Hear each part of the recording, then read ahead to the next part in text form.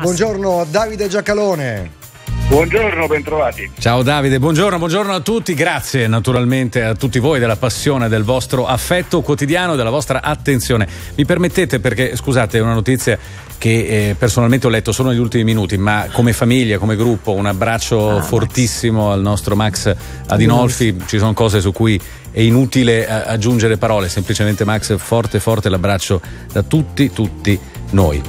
Corriere della Sera, ultimatum per rifare la manovra. L'Unione Europea all'Italia, notizia che avete sentito ovviamente più volte da ieri pomeriggio. Avete tre settimane. Mattarella, nessuno può sottrarsi all'equilibrio dei conti. Però Davide, Arriviamo da te leggendo uno dei commenti pubblicati in prima sul Corriere della Sera, Massimo Franco, la bocciatura chiamata dal governo, secondo l'editorialista del Corriere. Eh, quindi non solo attesa, ma quasi cercata. Che vuol dire, Davide? Vuol dire che quello che dicevamo ieri non è una bocciatura, la bocciatura della posizione italiana è nella lettera del governo italiano, l'affermazione che si trova all'inizio è eh, siamo consapevoli di essere fuori dal rispetto delle regole europee. Siccome la Commissione europea non deve valutare se una idea è buona o cattiva, perché non ha potere politico di stabilire se una cosa è giusta o sbagliata, deve stabilire se è coerente o no, se rispetta o no le regole eh, del bilancio.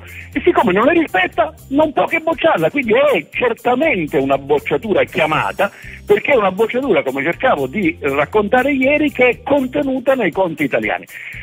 Cerchiamo di essere chiari. Si può avere opinioni le più diverse sul rapporto con la Commissione europea, dei governi nazionali, quello che si crede. Il governo italiano ha su questo punto ha torto e siccome il governo italiano è il legittimo governo dell'Italia e di noi tutti italiani, quindi noi, noi abbiamo torto quei conti non reggono, non stanno in piedi, dopodiché uno può anche dire non li modificherò mai, a parte che li hanno già modificati cento volte, ma insomma, cosa, cosa comporta il non li modificherò mai? Comporta l'avvio di una procedura di infrazione, ci vorrà del tempo, quindi non è che succede niente domani mattina, ma è una procedura grave.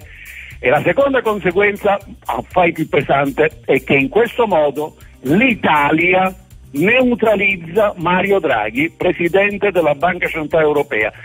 Gli stessi che oggi, violando le regole, mettono l'Italia, noi ci mettono, noi siamo dalla parte del torto, domani non osino dire cerchiamo la salvezza, ci deve difendere Mario Draghi perché sono esattamente queste condotte che lo indeboliscono e lo neutralizzano. Davide, allora ti dicevo prima eh, l'opinione di Feltri ospitata sul suo giornale Libero, eh, praticamente è una battaglia diciamo politica che lui sta facendo da molte settimane, dice o si rispettano le regole o si esce dall'Unione Europea, mentre Sapelli sul messaggero sostiene che due torti contrapposti eh, non fanno una ragione, come a dire che la via indicata da Salvini e Di Maio sia quella in qualche modo di accompagnare per mano il nostro paese, almeno apparentemente, a uscire dall'Unione Europea, cosa che mai accadrà eh, e forse lo sappiamo già. Eh, qual è il tuo giudizio? Beh, se così fosse, loro esprimerebbero il giudizio più pesante, sia Sapelli che, che, che, che Feltri, su, sul, su chi governa, perché gli darebbero del bugiardo, del truffatore eh, da questi microfoni eh, eh, Di Maio, vicepresidente del Consiglio, ha detto io sono diventato leader del Movimento 5 Stelle proprio difendendo la nostra posizione dentro l'Unione Europea e dentro l'euro che non è in discussione e non sarà in discussione. Questa è la posizione del governo italiano, questa è l'affermazione con la quale si chiude la lettera del governo italiano di risposta alla Commissione europea, il nostro posto è in Europa e nell'euro. Il giorno in cui io dubitassi di questa posizione dovrei dare agli interlocutori di governo, agli uomini di governo del truffatore, del, del cialtrone che rac- dice una cosa e ne fa un'altra. Assolutamente non sono di questa opinione, quindi credo che queste siano opinioni temerarie. Andiamo, rimaniamo sulle prime, adesso passiamo su Repubblica che eh, anche in questo caso dedica l'apertura alla bocciatura, Movimento 5 Stelle Lega scontro to- totale con la UE, il colle rischi per famiglie e aziende, ricordiamo che ieri è intervenuto appunto Mattarella. Eh, però andiamo poi a fondo pagina dove c'è la cronaca, quella brutta, quella nera, trovata morta a 16 anni dopo la droga e lo stupro, caccia a banda di spacciatori, stiamo parlando di Desiree, l'abbiamo appena ascoltato anche nel giornale orario Eh, vogliamo anche un tuo commento, Davide. Ah, sapete, sapere se la vita di, di, questa povera ragazza Desiree abbia qualche cosa in comune o meno con un'altra vita che abbiamo purtroppo perso, quella di Pamela Mastro Pietro, vi ricordate a, a Macerata, sì, certo. cioè se si tratta di una ragazza che faceva o non faceva uso di sostanze stupefacenti, ha qualche cosa a che vedere con la descrizione di quella morte, ma non cambia assolutamente niente, assolutamente niente rispetto al dato fondamentale. Non è in nessun modo tollerabile né lo spaccio di droghe né l'occupazione di edifici che creino delle extraterritorialità, cioè dietro quel cancello a San Lorenzo c'è una legge, una sovranità diversa rispetto a quella che c'è da questa parte del cancello. I carabinieri e la polizia devono entrare. Queste sono cose che devono essere represse. Occorre repressione legale nel rispetto del diritto, ma repressione per lo spaccio e per queste forme di occupazione. Poi naturalmente per quel che riguarda purtroppo questa, questa, morte saranno le indagini a stabilirne maggiormente i, i contorni, ma quello, l'edificio rimane un edificio occupato a San Lorenzo e rimane occupato da spacciatori di droga e questo è uno sfregio alla nostra convivenza civile che non possiamo tollerare, ripeto, repressione. Tra l'altro vorrei aggiungere Giusy e Fulvio e Davide che nel quartiere San Lorenzo di Roma dove io ho vissuto per molti anni eh, c'è una via, Davide lo sa bene, che è via dei Volsci, che da sempre è gestita autonomamente da un gruppo di persone legate ai centri sociali che spacciano costantemente, se la polizia osa entrare purtroppo gli viene impedito e tutto questo sotto gli occhi dei cittadini eh, per bene che vivono a San Lorenzo che fanno fatica eh, a vivere lì e ad avere una qualità della vita che rispetti per esempio i bambini e i più anziani che passano per quella via. È veramente una contraddizione che a Roma è stato difficilissimo governare e mh, tuttora non si fa nulla. Mica solo a Roma. E poi aggiungerei, ehm, non riguarda in modo diretto ma ha delle ricadute il discorso che ha appena fatto Davide. Guardate che abbiamo un altro fenomeno di extraterritorialità in Italia che è quello delle curve degli stadi. Ora, uno si può limitare a, eh, grazie anche all'ultimo report, a definire tutto in termini io ce l'ho con quella società, la Juventus, o sono con quella, la Juve. Ma finché non diremo che noi abbiamo pezzi di Stato, le curve degli stadi, alcuni edifici abbandonati, sottratti al controllo del medesimo, continueremo semplicemente a ripeterci le stesse cose e magari accusarci a vicenda da ultras. Davide, la stampa oggi è una prima molto interessante, a parte l'apertura scontata sulla bocciatura. Ci ricordano a centropagina quello che abbiamo detto mille volte, da Tremonti a Renzi le liti infinite con l'Unione Europea, non abbiamo inventato nulla, anche se la bocciatura poi era sempre stata evitata in extremis, ma ti giriamo la fotonotizia a centropagina. Crolla la scala mobile metropolitana, panico e feriti fra i tifosi russi a Roma, apro parentesi, molti di loro ubriachi.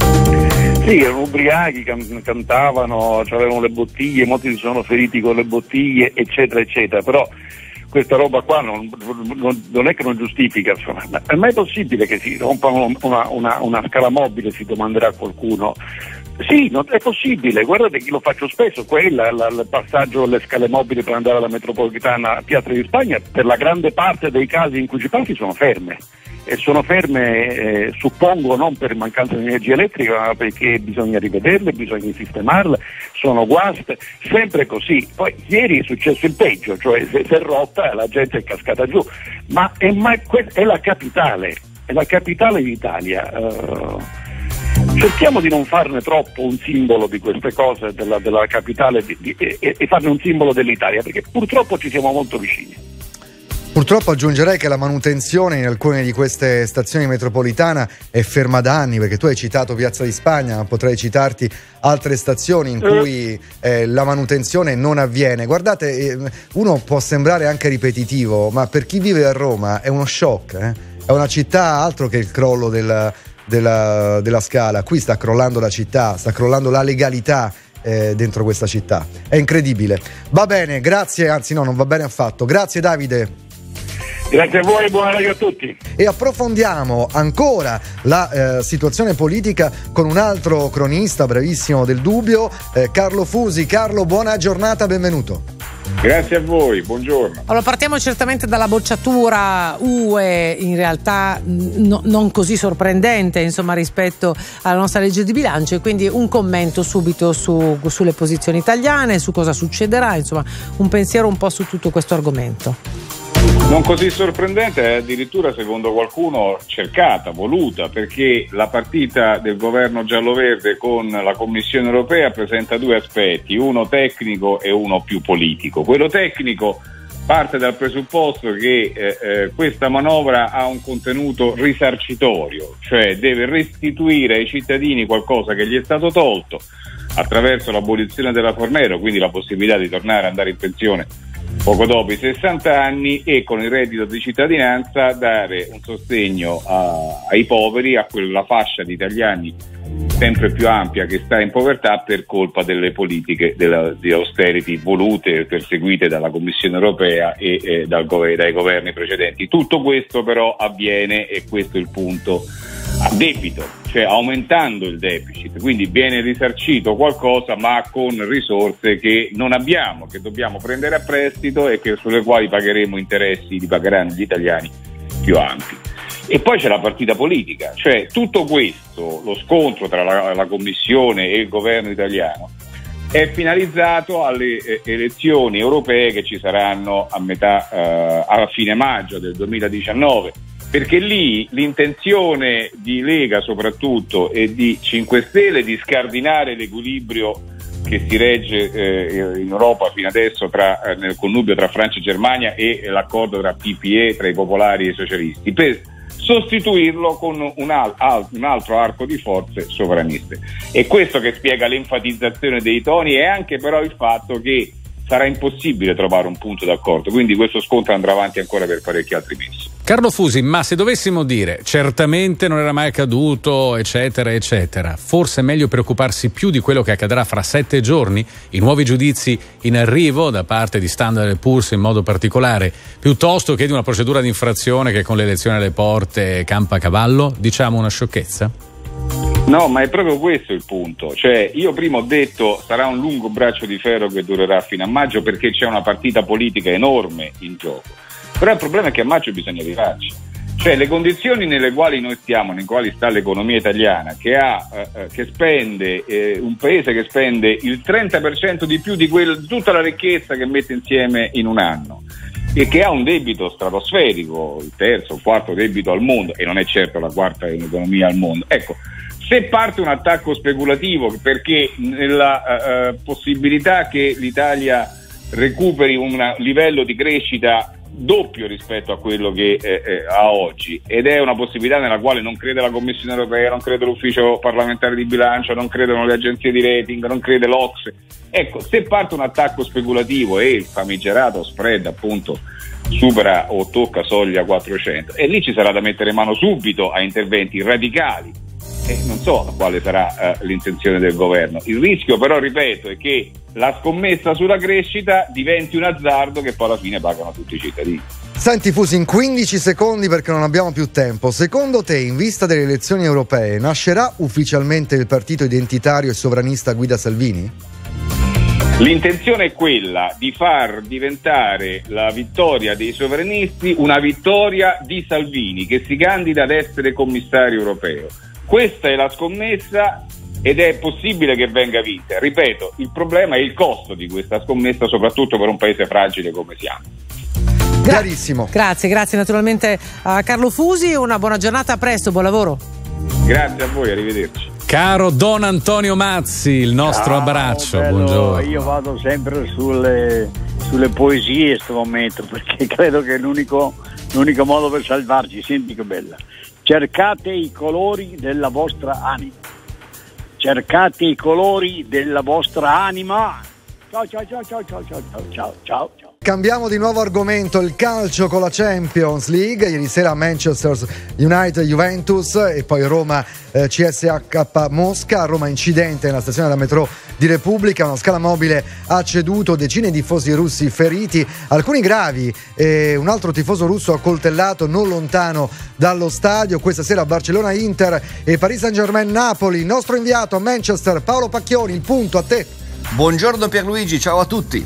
Allora, caro Paolo, lo abbiamo ripetuto più volte, lo hai fatto tu ieri sera in diretta qui su RTL 102.5 1-0 che non rispecchia minimamente una prestazione, Paolo, poi magari mi correggerai subito, di rara autorevolezza in uh, trasferta, ma non una trasferta qualsiasi, stiamo parlando dell'Old Trafford dello United. Assolutamente sì, la Juventus ieri ha giocato una grande partita. Massimiliano Allegri alla vigilia lo aveva detto: contro il Manchester United, che è squadra molto fisica, noi dovremmo essere bravi sul piano tecnico. Ed è esattamente quello che si è visto ieri sera: una superiorità tecnica della Juventus che ha sbloccato quasi subito con Dybala al diciassettesimo minuto e poi ha continuato a fare la partita. Se dobbiamo trovare un difetto alla squadra di Massimiliano Allegri, dobbiamo dire che una partita del genere non può finire 1-0, perché comunque quando tu tieni le partite in equilibrio poi può sempre esserci un episodio episodio che ti fa andare storta la serata. In effetti alla mezz'ora del secondo tempo c'è stata l'unica occasione dello United con un palo colpito dall'ex Juventino Pogba. Insomma, se quella palla fosse stata 4 cm eh, più a destra sarebbe stato gol e sarebbe stato onestamente un grande peccato per la Juventus che invece di fatto ha ipotecato non soltanto il passaggio agli ottavi di finale, ma anche il primo posto nel girone perché è in fuga a 9 punti con 5 lunghezze di vantaggio sullo United e 7 col Valencia che si è fatto fermare sul pareggio dallo Young Boys. Quindi un bilancio assolutamente positivo e poi è stato eh, bello vedere Cristiano Ronaldo che è tornato a casa, qui lui è diventato un grande calciatore, ha militato nello United per sei anni, aveva detto che se avesse segnato non avrebbe esultato, ci è andato vicino nel secondo tempo ma ha trovato la grande parata di De Gea, però poi alla fine è stato molto simpatico che c'è stata un'invasione di campo eh, di due tifosi che volevano a tutti i costi farsi selfie, sono stati malmenati dagli steward dello stadio, ma poi Cristiano Ronaldo quando loro erano stati fermati ha detto dai ok va bene facciamoci il selfie. Si è fatto il selfie in mezzo al campo insieme a questi due invasori. Poi è andato ad applaudire la curva dello United che gli ha tributato un'ovazione Bella, bel racconto di questa partita, ma adesso uh, qualche spazio anche alla Roma, molto bene in campo, eh, non, non, bene quello che è successo insomma, su questa Beh, scala mobile. No? Naturalmente questo sì, per quanto riguarda il campo invece risposta positiva della Roma, forse ha ragione di Francesco, quando questa squadra viene presa a schiaffi allora sa reagire e sa rispondere. Grandi critiche dopo la sconfitta in casa di sabato contro la Spalla, grande prestazione ieri sera, uno dei più criticati era stato Geco che già nel primo tempo ha segnato due gol indirizzando la partita che poi è stata chiusa dalla terza rete rete di Under. Roma che adesso è in testa al girone insieme al Real Madrid a pari punti. A questo punto bisogna conservare questa posizione, sarà molto importante la prossima trasferta a Mosca e poi ci sarà Roma-Real Madrid, ma lì magari ci arriveranno due squadre vicine alla qualificazione. E come dice De Rossi, la testa giusta può farci volare in coppa. Parlo da tifoso, ovviamente, non in questo caso da cronista. Senti, questa sera Barcellona-Inter, Paris Saint-Germain-Napoli. Il punto, due grandi partite, due grandi trasferte, sicuramente molto pericolose, ma anche di grandissimo fascino. Direi che l'Inter ha una situazione di classifica tale per cui, voglio dire eh, cose che nel mondo dello sport sono un'aberrazione, però tutto sommato potrebbe anche andare bene una sconfitta, basta poi fare bene nelle prossime. Però ci arriva un Inter in salute, un Inter convinta, insomma, magari ci potrà essere un risultato positivo. Peraltro guardavo ieri sera in conferenza stampa Giuseppe Mourinho e pensavo a quel Barcellona-Inter eh, del 2010 che poi diede la finale alla formazione nerazzurra. E poi il Napoli a Parigi ha sicuramente una partita difficile, però comunque anche il Napoli sta bene e poi in un girone così equilibrato e così difficile non bisogna lasciare punti per strada. Speriamo che il Napoli faccia bene stasera. Che ricordi hai tirato fuori quel Barcellona-Inter? Credo che ogni tifoso dell'Inter abbia perso almeno 7 anni di vita e 12 kg durante quel secondo tempo. Però li ha ripresi poi li ha ripresi, dopo, la, dopo, il novantesimo, festeggiando.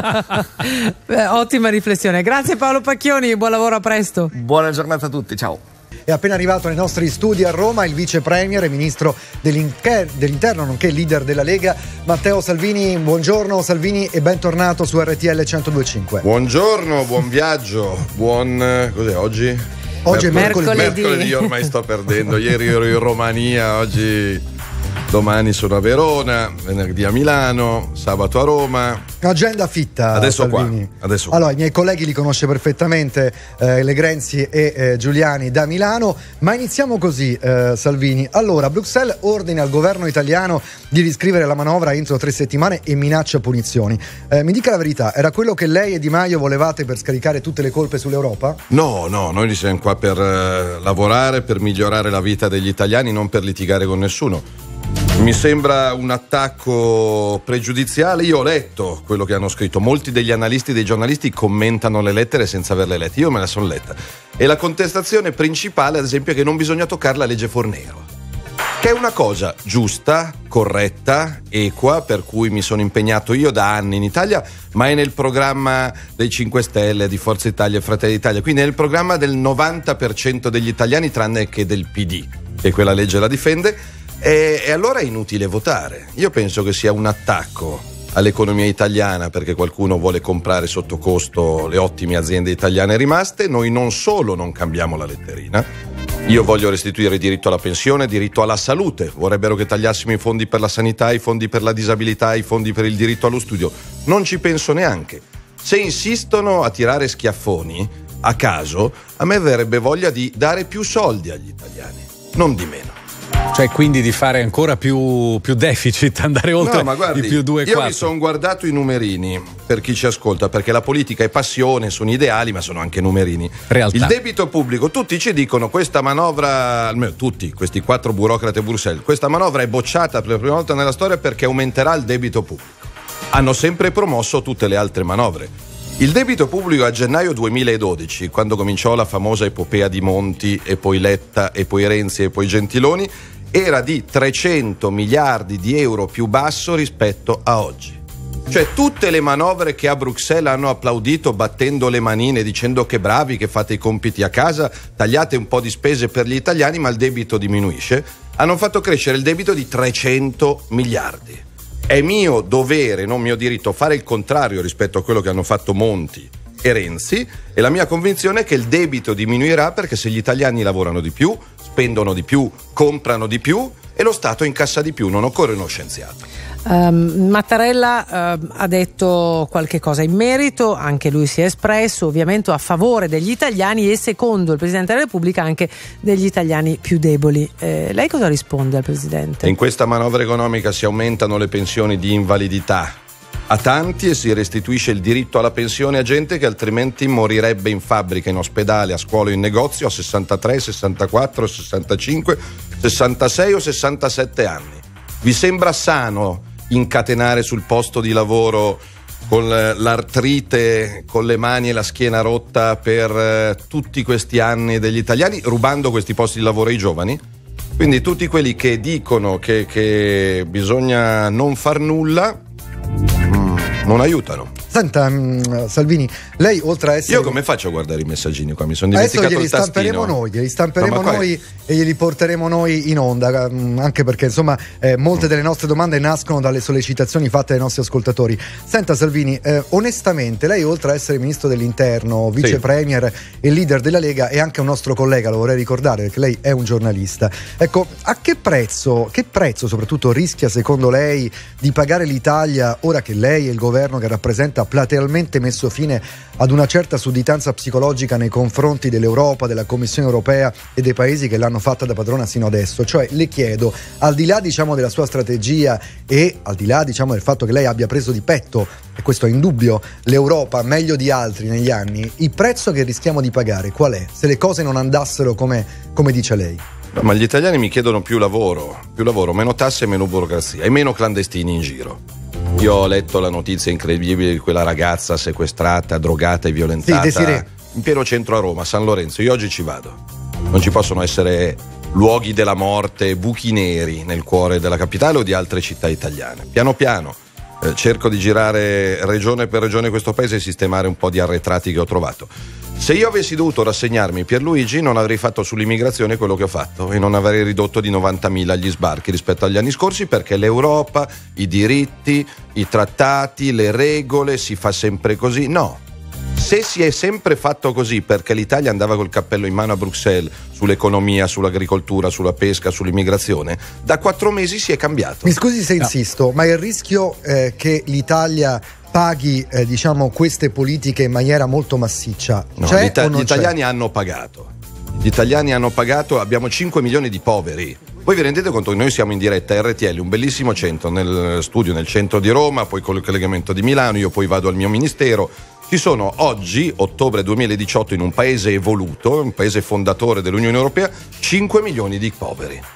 Eh, non, non, lo accetto. Non, non, per carità, non cancellerò la povertà, la fame, la sfortuna, però voglio rimettere un po' di soldi nelle tasche degli italiani, l'economia italiana è solida, gli italiani sono dei risparmiatori incredibili nonostante la crisi, se a Bruxelles la smettono di tirare schiaffoni e gli speculatori aiutano l'Italia a tornare a crescere invece di scommettere sul, sul, sul, salto per aria non c'è problema. Noi comunque tiriamo dritto, eh. Bruxelles può mandare 12 letterine fino al 25 dicembre quando la porta Babbo Natale noi rispettosamente, educatamente diciamo che prima vengono gli italiani. È stato chiarissimo, tra l'altro c'è una differenza anche tra lei e Di Maio. Di Maio la povertà l'ha abolita, lei ha detto non, no. non ho questa pretesa. Non ho questa siamo... possibilità e questa fortuna di abolire la povertà e di vincere i derby. Quindi questo si è evidenziato domenica. La saluta Mauro Icardi, ma questa è tutta non un'altra voglio storia. parlare di questo, per favore non provocate. Storia. No, no, lo faccio apposta così poi quando parliamo di conti pensa Icardi sarebbe con Icardi. Perché qui battute a parte, eh, però c'è una scommessa chiarissima nel crescere tanto, giusto Ministro certo. Salvini? Benissimo. Le altrimenti... previsioni, se, non avessimo fatto, se avessimo fatto quello che Bruxelles ci chiedeva, quindi una manovrina solita alla Renzi, due robe qua, due robe là, però senza toccare la Fornero, senza il reddito al lavoro, senza tagliare le tasse alle partite IVA. Più uno. Le previsioni ci avrebbero detto che crescevamo dello 0,9. Esatto, quindi intorno al più uno. Voi e scommettete... in quale secolo diminuisci il debito se cresci dello 0,9? Verissimo. Noi noi scommettiamo che investendo soldi, mettendo soldi nelle tasche degli italiani, assumendo da ministro dell'interno, io ho l'onore, dopo anni di stallo, di assumere 10.000 uomini delle forze dell'ordine. Cos'è? Una spesa a caso? È una spesa da non fare? Secondo me è una spesa utile. Primo perché porta più sicurezza, secondo perché dai 10.000 posti di lavoro utili, concreti. Io sono sicuro che cresceremo non dello 0,9, dell'1, del 2, ma sicuramente più dello 0. Allora, eh, però, Ministro, la domanda è questa: se ovviamente io spero più 2,5 da italiano, va bene, più 3, ma magari, insomma, non siamo dei matti, naturalmente. Ma se non dovessimo fare quel più 1,5 in questo momento ci danno in Italia, eh, non nell'Europa, più 1,1. Sì, sì, cioè, li rifate, abbiamo... no, eh beh, però va chiesto, li rifate no, i calcoli e i conti? È pieno di cosiddette clausole di salvaguardia che abbiamo ereditato appunto dai Monti, dai Renzi, che, che facevano bilanci sostanzialmente così, a umma umma, gli battevano tutti le mani e poi lasciavano a chi arrivava dopo 15 miliardi di buco, cioè le clausole di salvaguardia dell'IVA. Significa che tu vai al bar pigli il caffè e dice guarda che paga quello dopo di me e poi così a catena. Noi abbiamo ereditato sta roba qua come clausole, come debito. Noi siamo sicuri che cresceremo. Qualora non crescessimo, ovviamente non tiriamo i soldi fuori dalla finestra, ma noi scommettiamo sulla crescita e sull'Italia, perché gli italiani hanno voglia di lavorare. Sa quanti giovani mi dicono se grazie alla modifica della Fornero si liberano posti di lavoro io rimango qua.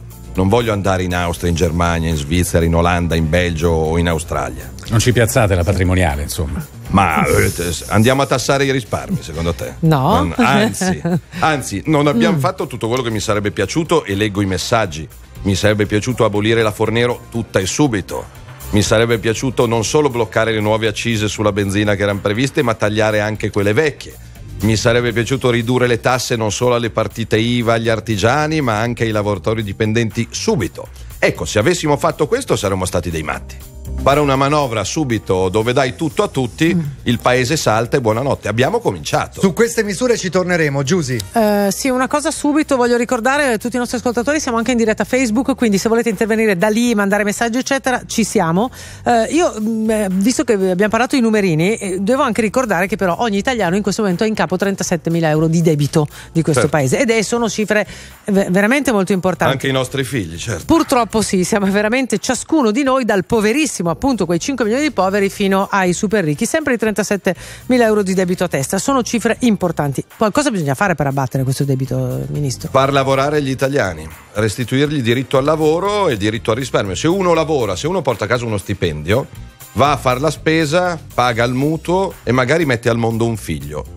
Eh, se uno non ha un posto di lavoro o ce l'ha da 2 euro all'ora in cooperativa nel centro commerciale per due mesi, non fa un mutuo, primo perché le banche non glielo danno, secondo non fa un figlio perché fa i conti di quanto costa. E quindi l'unico modo per crescere e ridurre questo debito è permettere alla gente di tornare a lavorare.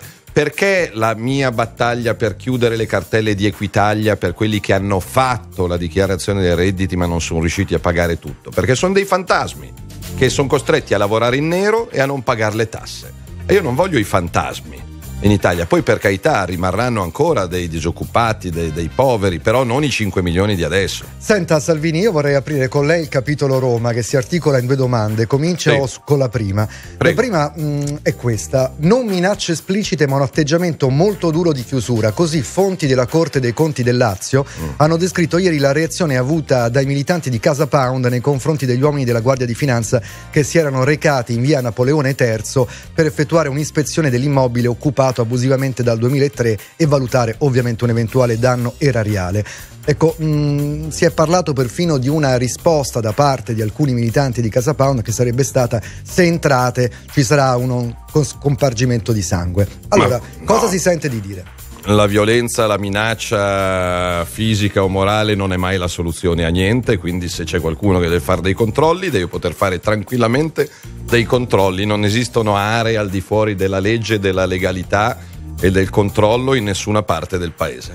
Bene, tornando sempre a Roma, non le posso non dire che Roma soffre sotto gli occhi di tutti, è umiliata, un'amministrazione che senza ombra di dubbio non è riuscita a mantenere eh, diciamo, le promesse, a mettere in campo quel cambiamento tanto sbandierato dal suo sindaco che ora come lei sa, rischia perfino di essere condannata per falso. Ecco, qualche giorno fa lei a Latina ha detto stiamo crescendo ovunque, soprattutto qua. Quando arriverà il momento di votare a Roma, ecco, è possibile che tocchi a uno dei nostri giocarsela. Siamo i più forti. Allora io le chiedo, lei eh, come giudica eh, questa amministrazione, visto anche quello che è successo ieri in, nella scala mobile eh, di una metro che purtroppo non c'è manutenzione? Vabbè, ma lì mi sembra che ci fossero eh. decine di ubriachi pseudo tifosi di una squadra russa che facevano casino e le scale mobili non sono fatte perché la gente salti. Ministro, si fidi di un romano, no, la, manutenzione, la, manutenzione, delle scale mobili a Roma in alcune stazioni non viene fatta da anni. C- ci credo, ci credo, ogni tanto la prendo.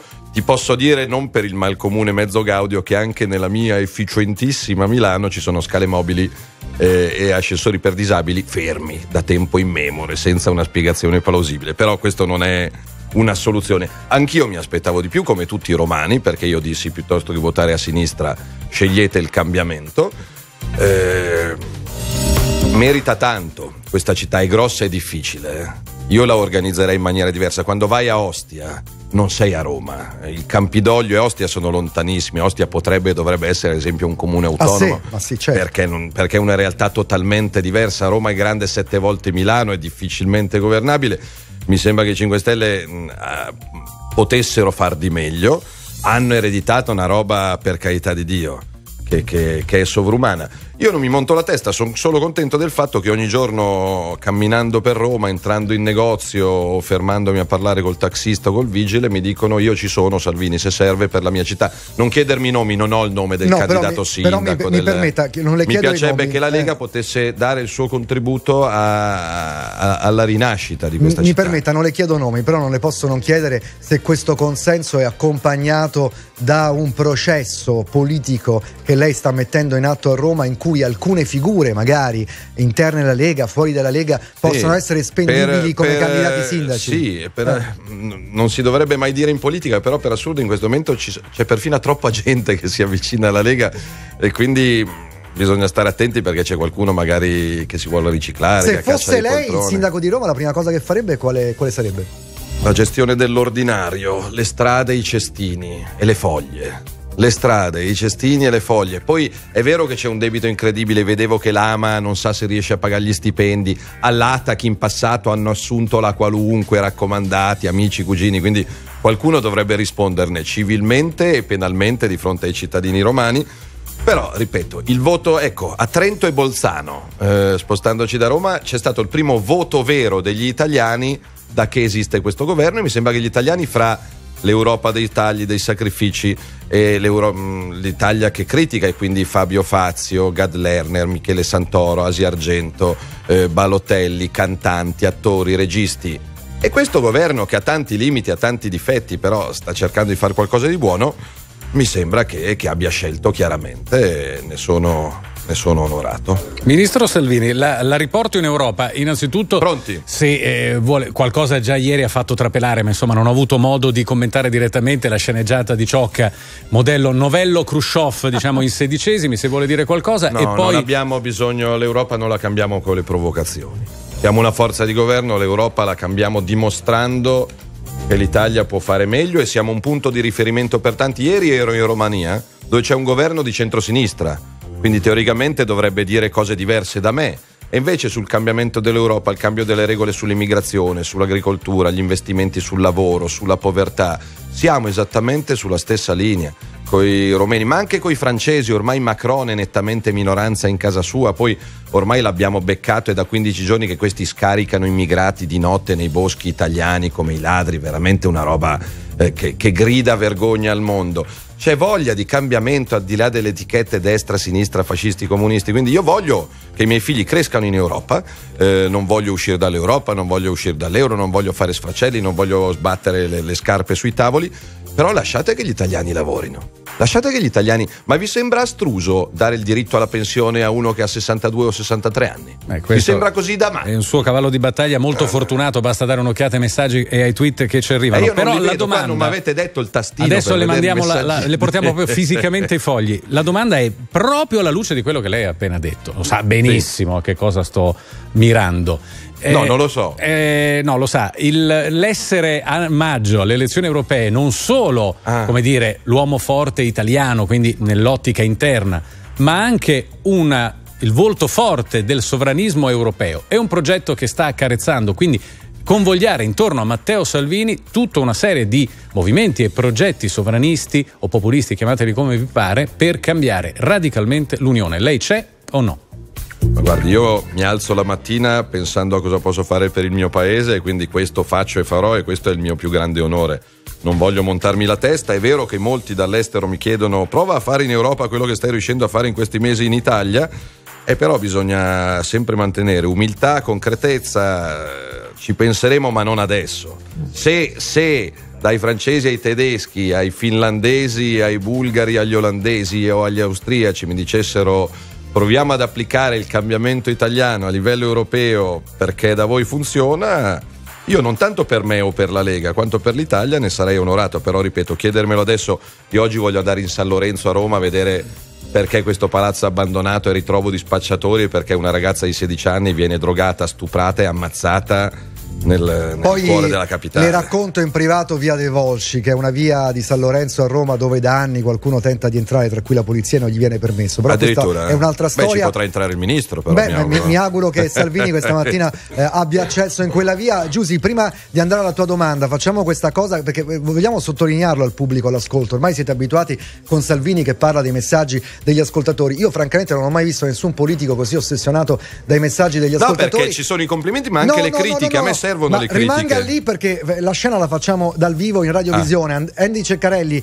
in regia, puoi portare il plico con tutti i messaggi al ministro Salvini, così in modo tale che li possa leggere con la, la, la, la cura e l'attenzione. Però non si scelgo a caso, eh. li scelgo a caso. Sì, poi nel frattempo se, abbiamo circa 6.000 persone che stanno seguendo la diretta e anche loro stanno scrivendo in, in tantissimi in Facebook, naturalmente. Eh, la domanda è questa: in questo momento eh, andiamo al. Mi ha molto divertito questo nome giornalistico, questa eh, scelta del patto delle tagliatelle, veramente divertente. Quindi, delle tagliatelle, la vostra cena, Conte, Di Maio ah, e Salvini l'altro tagliatelle ieri. Tagliatelle di nonna Pina, Esatta- sono le uniche che conosco. Esattamente, il patto delle tagliatelle è stato definito giornalisticamente, quindi c'erano un po' di cose sul tavolo, ovviamente anche la bocciatura eh, att- più che attesa eh, da parte dell'UE, ma si parla anche di RAI. A che punto siamo con la RAI, Ministro? No, non ne parlo io e non ne parlano i politici o i capi partito di RAI. C'è un amministratore delegato e c'è un presidente che stanno eh, secondo me facendo una cosa bella, mm. che non so se accadesse in passato. Mi, mi, mi, risulta che stiano incontrando tante persone interne all'azienda, nel senso che non stanno andando a cercare Messi o Ronaldo che arrivi da Marte. È un'azienda con 13.000 dipendenti, con tante professionalità accantonate negli anni anche per eh, ragioni politiche, non per ragioni professionali. Quindi mi risulta che l'amministratore delegato stia incontrando, stia ascoltando, stia valutando e quindi penso che la RAI, anche perché è pagata dagli italiani, meriti tanto. Poi se lei mi chiede da spettatore, non da ministro, un giudizio sì. su alcuni programmi e su alcuna informazione evidentemente, palesemente, eh, pregiudizialmente schierata a sinistra contro la Lega, contro Salvini, che è il colpevole di tutti i mali, Eh, cambio canale. Posso- Fortunatamente c'è il telecomando, cambio canale. Posso farle una domanda? Lei in passato sa, insomma, mh, anch'io sono stato un conduttore in forze a- al servizio pubblico, Certo. però una cosa di cui mi sono reso conto lavorando alla RAI è questa, Salvini, perché tutti i politici dicono che la, la RAI deve essere autonoma dalla politica, eccetera. Poi a me capitava, come a tantissimi altri colleghi, che bastava mettere su una trasmissione con, eh, così come dire, eh, degli ospiti eh, o tentare di fare delle cose eh, con una linea editoriale lontana da quella del governo in carica e accadeva che eravamo destinatari di continue interrogazioni parlamentari. È possibile pensare ad una RAI in cui i politici non fanno interrogazioni parlamentari sui programmi? Che bello, che bello. Eh, non non vedrei chiedo l'ora. proprio da... È d'accordo su questo? Sì, anche, ma guarda, eh, noi siamo al governo da quattro mesi e mezzo ormai, quasi, quasi, quasi cinque. Abbiamo giurato il primo giugno, quindi il primo novembre saranno cinque mesi. Penso che sia il primo governo nella storia della Repubblica Italiana, andate a verificare, che, che ha l'informazione pubblica, la stragrande maggioranza dell'informazione televisiva, radiofonica, dei giornali contro contro. Di solito c'è quello a favore, quello contro, quello mediano, questi sono tutti contro. Però non, non faccio il piangina, come si dice a Milano, tiro dritto. Spero che la RAI, visto che ha 13.000 dipendenti ed è pagata dagli italiani, è pagata a fior di quattrini dagli italiani, sia equilibrata e dia spazio a tante voci, cosa che oggi purtroppo non sempre è. Ministro, eh, torniamo, lei lo ha accennato, però insomma i rapporti con la Francia non possiamo non parlarne e provare a capire realmente, secondo lei, secondo il Viminale, che cosa stia accadendo in quelle zone di confine. Perché se lei ha detto, come ha detto pochi istanti fa, ci scaricano immigrati nei boschi, allora qui qualcuno ci urla nel manico, senza discussione, qualcuno a Parigi non può dire di non sapere. Che cosa dice quindi all'Eliseo Matteo Salvini questa mattina in diretta? Abbiamo chiesto spiegazioni, non tanto le scuse, delle scuse io e gli italiani ci facciamo poco, abbiamo chiesto documenti, numeri, nomi, cioè quanti ne avete riportati in Italia, chi erano, c'erano dei minorenni e dei bambini, A ci risulta di sì, c'erano delle donne, ci risulta di sì, perché l'avete fatto? Chiarisco a chi ci ascolta che non c'è nessun accordo con l'Italia per fare tutto questo e quello che mi ha fatto imbestialire è che io ho passato l'estate controllando i confini, essendo indagato, essendo attaccato, con Macron che mi insultava ogni quarto d'ora come razzista, cattivo, egoista e fascista, e questi fanno, fanno tranquillamente i loro comodi. Quindi, A, ho mandato le pattuglie della Polizia di Stato per evitare che continuino a farlo. B, vediamo se c'è qualche giudice che ha voglia di indagare, visto che su di me di inchieste aperte ce ne sono a decine. C, che i francesi la smettano. Ma c'è Vorrei- secondo lei sì. un intento politico da parte di Parigi? Di destabilizzare può essere, perché Macron è in crollo all'interno, sta perdendo ministri, sta perdendo consensi e quindi ha scelto Salvini e l'Italia come, come avversari. Probabilmente qualcuno voleva che Salvini arrivasse a fare il ministro dell'interno e invece di meno immigrati ne arrivassero di più e entrassero da tutte le parti, dalla Slovenia, dalla Francia, da- dal Mediterraneo, dalle Alpi. E invece ci siamo messi a lavorare seriamente e gli sbarchi si sono ridotti da 111.000 a 21.000. Vorrei integrare la domanda di Fulvio con questa notizia che oggi viene pubblicata sul quotidiano La Verità di Maurizio Belpietro. Le leggo il titolo: Migranti, Macron respinge minori, la Croce Rossa 21 da inizio anno. Gli esperti del suo eh, dicastero inviati in Francia scoprono anche un altro scandalo. I gendarmi hanno tentato di espellerli eludendo il trattato di Dublino. I sindaci di confine confermano accade molto spesso. Allora, quando di mezzo ci sono i minori, eh, la questione si fa ancora più grave, ministro. Eh? Sì, perché noi abbiamo accolto negli ultimi anni 700.000 richiedenti asilo, fra cui una marea di minori. Se ci sta ascoltando qualche sindaco, qualche consigliere comunale, sa che costo sia per una comunità eh, le migliaia di euro a bilancio per mantenere questi bimbi e questi ragazzi, che però noi facciamo non perché ce lo dicono i trattati, ma perché, perché lo facciamo perché è giusto farlo. Però anche gli altri dovrebbero fare la loro parte, non possono dire che gli italiani sono egoisti, leghisti, fascisti, razzisti e poi non prenderne neanche uno, anzi rimandarceli indietro di notte. Siamo veramente all'assurdo. Detto questo, anche qua, se io avessi dovuto aspettare che l'Europa si muovesse, avremmo avuto i soliti centinaia di migliaia di sbarchi. Abbiamo fatto per conto nostro. Sulla manovra economica, rispettosamente, rispettando le regole e il buonsenso, faremo lo stesso. Se dovessimo dar retta all'Europa, la gente non va in pensione, non lavora e paga le stesse tasse di oggi. Eh, diamo retta al cervello e al cuore a quello che gli italiani ci dicono. Leggo sui messaggi, ovviamente ci sono anche critiche, c'è gente che aspette- si aspettava di più, eh, c'è, c'è gente che dice bah, bisogna rispettare quello che dice l'Europa a prescindere. No, Se l'Europa ordina RTL domani di chiudere, voi chiudete? Non ci pensiamo nemmeno. Eh, eh, ma non perché siete euroscettici, perché lo ritenete un errore. Un, eh, quindi se l'Europa mi dice di, di, di non toccare la legge Fornero... eh, Però se- noi siamo un'azienda privata, l'Italia non è un'azienda privata, Salvini. Però l'Italia sono 60 milioni di uomini e donne che hanno diritto di stare un po' meglio.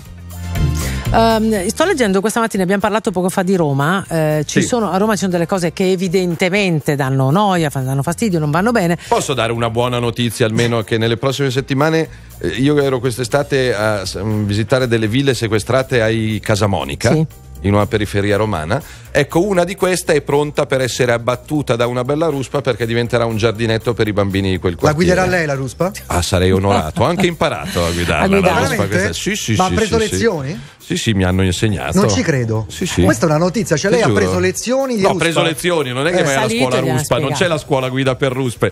Però quest'estate, sia per spostare de- degli ulivi che in Valtellina lo scorso inverno in salita per sistemare le piste da sci, mi hanno fatto guidare la ruspa. Ecco, dicevamo a proposito, va bene, adesso facciamo, sistemiamo la villa di Casamonica. Dicevo, questa è Roma. A Milano, stamattina c'è questa notizia. Il procuratore di Milano che dice: è la Lombardia la terra degli evasori. Ora, cose che si vedono meno, sono meno evide- evidenti dei rifiuti e delle buche, ma l'evasione è un tema molto significativo per questo paese e sono numeri che potrebbero, diciamo, ritornare nelle tasche degli italiani. Stiamo facendo qualcosa per questo? Il governo sta facendo qualcosa? Sì, nel decreto fiscale ci sono due facce della medaglia perché devono andare insieme. Uno, pene più severe per chi evade. Perché non gli puoi dare una tiratina d'orecchio, ma proprio per quelli che ad esempio non fanno la dichiarazione dei redditi. Il problema noi vogliamo e due, aiutare invece quelli che hanno fatto la dichiarazione dei redditi ma non ce l'hanno fatta a pagare tutto il dovuto, i contributi, uno si è rotto la gamba, uno è rimasto incinto, uno ha chiuso il negozio, uno gli si è rotta la macchina Cioè, e la volete, volete trovare gli evasori totali? Ah, distinguere gli evasori evasori che hanno le tre ville e non hanno mai fatto la dichiarazione dei redditi, per quelli c'è la galera, come negli Stati Uniti, le manette. Io per quelli non vedo sanzioni economiche. Se non fai la dichiarazione dei redditi per dieci anni e ti becco con tre ville, non ti do una multa. Puoi fare anche il cantante, il calciatore, ti metto in galera. Come negli Stati Uniti. Ma se sei l'artigiano che non ce l'ha fatta a pagare i contributi al dipendente o, o- o ha chiuso la partita IVA o l'attività e c'hai quella cartella da 30.000 euro che ti sta condannando a morte, io ti convoco, me la chiudi col 10, il 15, il 20% mi- di quello che mi puoi dare e torni. C'è l'evasione dei furbi, dei delinquenti e c'è una parte di evasione di sopravvivenza, di, di- di necessità, di sfiga. Senta, oggi sul Corriere della Sera, pagina 15, esteri, leggo questa notizia, vorrei un suo commento. Velo integrale vietato, l'ONU boccia la Francia. Occhiello, il caso di due donne al Comitato per i diritti umani, guidato da un israeliano, tra l'altro, violata la libertà individuale. Per quanto riguarda quello che lei pensa rispetto al velo integrale nel nostro paese, che cosa si sente di dire? Il vero integrale, eh? sono assolutamente contrario. Eh, io do rispetto a chi porta rispetto, ognuno può credere nel Dio che vuole, buddista, ebreo, valdese, cattolico, protestante, però se una religione applicata alla lettera come mh, l'Islam integralista ritiene che la donna valga meno dell'uomo, la donna non possa lavorare, la donna non possa imparare italiano, la donna vada coperta da, da capo a piedi, non è un, eh, un modo di vivere che in Italia io apprezzo e quindi il velo integrale io per, eh, per i miei figli non ce lo vedo in giro per Roma o per Milano. Ministro Tanto mi Salvini. scrivono che stamattina c'è un comitato di ordine pubblico a Roma proprio sulle occupazioni abusive, a proposito Sì. del Palazzo di San Lorenzo e di tutte le occupazioni abusive. Se riesco, anzi se riesco, lo trovo il modo di farci un salto e poi di riuscire a fare un sopralluogo nel Palazzo di San Lorenzo. Anche se è sotto sequestro, ovviamente, Sì. essendo stato teatro di un omicidio, è sotto Beh, sequestro. lei potrà entrare, insomma, Però- accompagnato. No, ma più che altro mi interessa capire da quanti anni, da È quanta evidente. vita è abbandonato quel palazzo. Ministro, no? eh, visto che siamo quasi ai saluti, tra l'altro vogliamo ringraziare eh, la passione e l'interesse, a cominciare dalle critiche, come lei anche ha sottolineato, con cui ci avete seguito anche in diretta Facebook. E proprio da Facebook è arrivata questa notizia. Una, la prima parte la integro io. Lei prima ha detto Sì. la nostra è una scommessa di crescita. Eh, proviamo a concretizzare quanto è più 1,5 più 2. Noi abbiamo messo più 1,5 Quindi, nel per voi prudenti. quella basta. La domanda L'obiettivo è Facebook. crescere del doppio del previsto. Del do- eh, Ok, se io do chiaro. diritto alla pensione, al lavoro e al reddito a milioni di italiani, eh, voglio crescere del doppio del previsto. Chiarissimo. Chiarissimo, però la domanda via Facebook poi era: Eh, ma se la perdete la scommessa, ve ne Ma no. Ma sì, sì. Beh, guarda, se, se- se gli italiani ci vogliono mandare a casa, ci manderanno a casa. Io non sono attaccato alla poltrona. Io sono convinto che ce la facciamo. C'è un'Italia che ha voglia di correre e non vuole più essere serva di, di regole sciocche, quindi sono convinto che ce la faremo. È tutto, buona giornata da Giusile Grenzi, Fulvio Giuliani, Pierluigi Diaco e dal Ministro dell'Interno, Vice Premier e leader della Lega Matteo Salvini. Matteo Salvini, grazie. Abbraccio e a buona presto. giornata. A presto, grazie a a, domani. tutti. Non Stop News, a cura della redazione giornalistica di RTL 1025. Direttore responsabile Luigi Tornari.